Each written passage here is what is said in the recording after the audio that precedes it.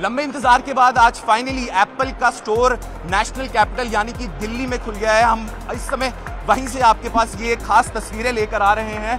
जैसे ही आप स्टोर में एंटर करेंगे, पहले तो आपको जो एप्पल का स्टाफ है वो आपको यहाँ पे आपका स्वागत करेगा।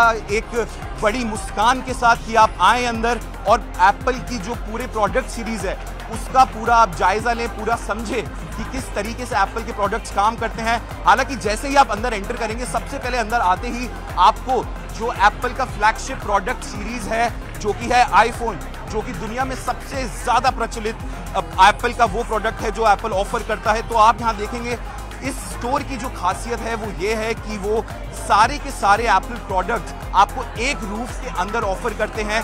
ये पूरी रेंज है आईफोन्स की। अगर हम थोड़ा और उधर जाएँगे तो हमें सारे एयरपॉड्स की भी रेंज देखने को मिलेगी।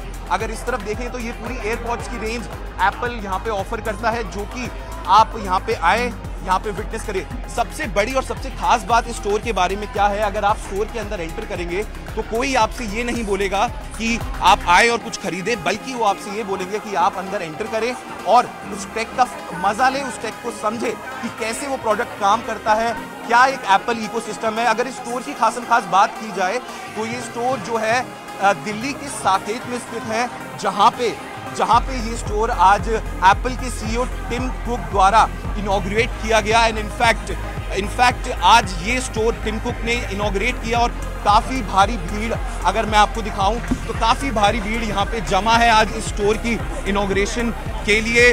लोग यहाँ पे तकरीबन सुबह पाँच से छः बजे से यहाँ पे इंतज़ार कर रहे हैं इस एप्पल स्टोर को विज़िट करने के लिए। इस एप्पल स्टोर को, इस एप्पल स्टोर को विज़िट करने के लिए, इस एप्पल स्टोर के अंदर जाके अपने फेवरेट प्रोडक्ट्स को विटनेस करने के लिए। बड़ा दिन, ना कि सिर्फ़ एप्पल के लिए, बल्कि उन लोगों के लिए भी जो एप्पल को पसंद करते हैं और एप्पल इकोसिस्टम का हिस्सा बनना चाहते हैं। Yash Goyal C news eighteen